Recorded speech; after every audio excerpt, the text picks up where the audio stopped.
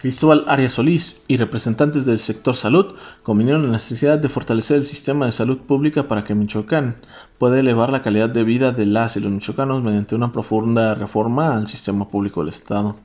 Así que fue establecido una reunión celebrada entre el candidato a la Fuerza por México a la gubernatura y personal del área de salud del Estado, entre quienes se encontraban el médico Óscar Alejandro Zacarías Cárdenas, secretario general de la Delegación 36, Blanca Robles, así como representantes sindicales, personal médico de enfermería, trabajadores sociales y psicólogos, quienes plantearon un diagnóstico de la problemática que se vive en las instituciones públicas de esta materia